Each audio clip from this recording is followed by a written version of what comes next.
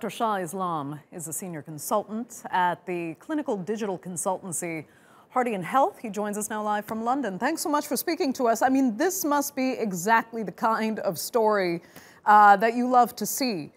Are these the kinds of diagnostic tools, you know, the future, that really are the future of healthcare in developing countries?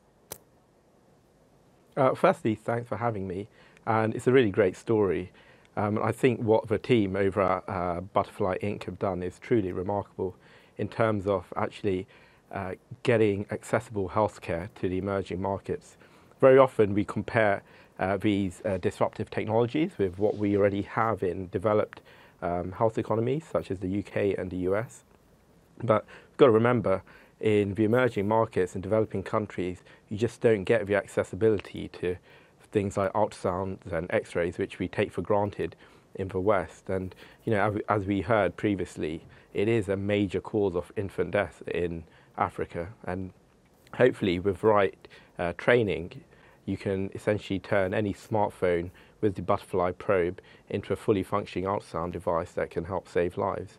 And pneumonia is really just the tip of the iceberg. It's a really cost-effective way of screening patients who are unwell and, and getting them the right uh, treatment that they require. Right. You almost get the feeling that because of such, you know, mobile digital technology in healthcare, uh, developing countries can actually skip that entire almost generation of development of healthcare infrastructure, the extremely costly infrastructure, including you know, massive hospitals that would have the big item tools, like an ultrasound machine. If we can manage this, harness this with smaller pieces of technology, mobile technology, those large kinds of hospitals that are cost prohibitive won't even be necessary in the future. Well, I think in this particular case, that's exactly um, what's going on. Um, I think the, you know, the uniqueness of this tool is that you know, we know that everyone has a smartphone, so essentially with the probe, anyone's phone could turn into an, a functioning ultrasound machine.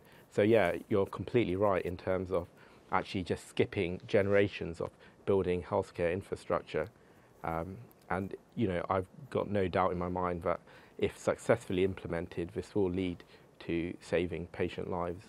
Uh, you know, I maybe should have given you a minute to think about this in advance, but I'll ask you anyway. What are some of the other really exciting developments uh, you've seen similar to this, these new technologies that really give you hope uh, for providing health care to the least privileged people?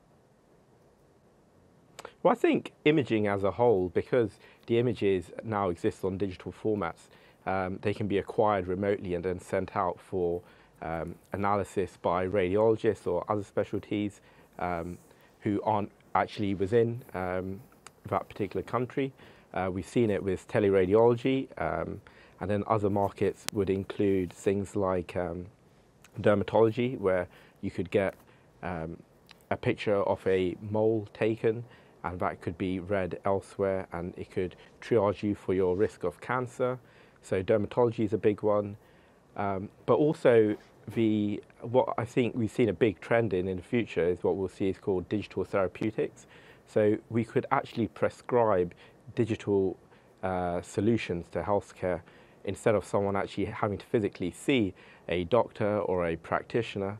Um, there's lots of app-based treatments which could be prescribed by clinicians. Great stuff. Dr. Shah Islam joining us there from London. Thank you so much for that.